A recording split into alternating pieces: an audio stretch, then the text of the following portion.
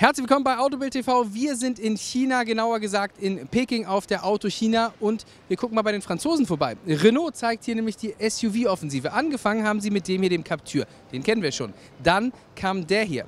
Das ist der Kadjar auf Basis des Nissan Qashqai, also eine Zusammenarbeit zwischen den Japanern und den Franzosen. Und diese Zusammenarbeit, die trägt neue Früchte. Das hier ist der neue Renault Coleos. Der Name ist alt, aber das Auto, das ist niegelnagelneu.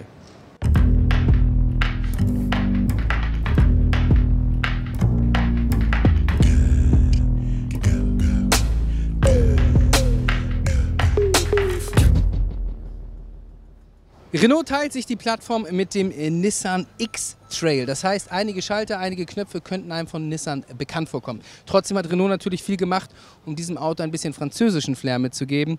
Das heißt zum Beispiel hier diese Mittelkonsole mit dem großen Display ist neu oder auch sowas wie diese Bedienung hier am Lenkrad, das kennt man von Renault bereits. Außerdem ist er ein bisschen schicker geworden. So ein bisschen mehr Haute Couture ist hier eingezogen.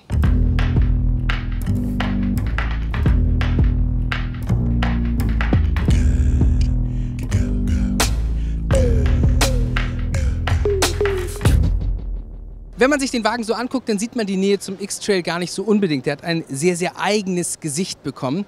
Und auch bei den Motoren wird Renault wohl eigene Wege gehen. Das heißt, es wird nicht unbedingt ein 1,6 Liter Diesel als Basisdiesel angeboten, sondern vor allem ein 2 Liter Diesel. Das heißt, wir erwarten den hier auch ein bisschen teurer als den Nissan X-Trail. Der startet bei 26,5. Der hier könnte also ein bisschen drüber liegen. Trotzdem weiterhin wahrscheinlich unter 30.000 Euro starten, wenn er dann im Herbst in Paris seine Europapremiere feiert.